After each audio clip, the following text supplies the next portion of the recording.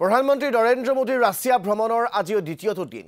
আজি চীনৰ ৰাষ্ট্ৰপতি জি জিনপিঙৰ সৈতে দ্বিপাক্ষিক বৈঠকত মিলিত হ'ব প্ৰধানমন্ত্ৰী নৰেন্দ্ৰ মোদী।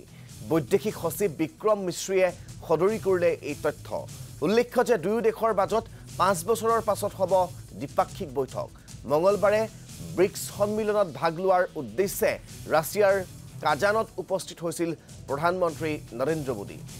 বিমানবন্দৰত উপস্থিত হোৱাৰ পিছতেই নৰেন্দ্ৰ মোদীক উষ্ম আদৰণি জনাইছে প্ৰৱাসী ভাৰতীয়সকলে।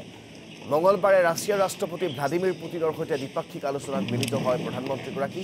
আমাৰ সম্বন্ধ ইমানেই গাঢ় যে অনুবাদক নাথাকিলেও মোদীৰ কথাসমূহ বুজিব পাৰি দ্বিপাক্ষিক আলোচনাৰ পিছত এনেদৰেই মন্তব্য কৰিছিল ৰাষ্ট্ৰপতি ভ্লাডিমিৰ পুটিনে ৰাছিয়া ইউক্ৰেইনৰ যুদ্ধক লৈ পূৰ্বৰ স্থিতিত বাহাল আছে ভাৰত সকলো সমস্যাৰ সমাধান শান্তিপূৰ্ণভাৱে হোৱাটো উচিত যুদ্ধ সন্দৰ্ভত ৰাষ্ট্ৰপতি পুটিনলৈ এই বাৰ্তা প্ৰধানমন্ত্ৰী নৰেন্দ্ৰ মোদীৰ বিগত চাৰি মাহত দ্বিতীয়বাৰলৈ এই ৰাছিয়া ভ্ৰমণ প্ৰধানমন্ত্ৰী নৰেন্দ্ৰ মোদীৰ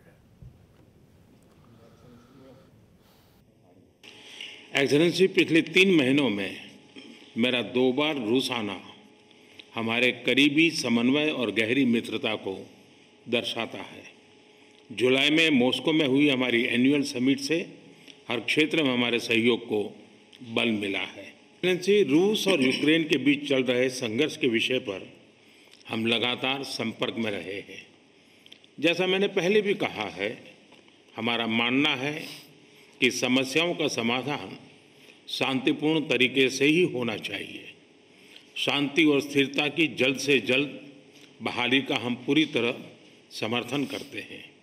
हमारे सभी प्रयास मानवता को प्रमुखता देते हैं। आने वाले समय में भी भारत हर संभव सहयोग देने के लिए तैयार है। एक्सलेंसी आज इन सभी विषयों पर विचार साझा करने का एक और महत्वपूर्ण अवसर है। एक बार फिर बहुत बहुत धन्यवाद।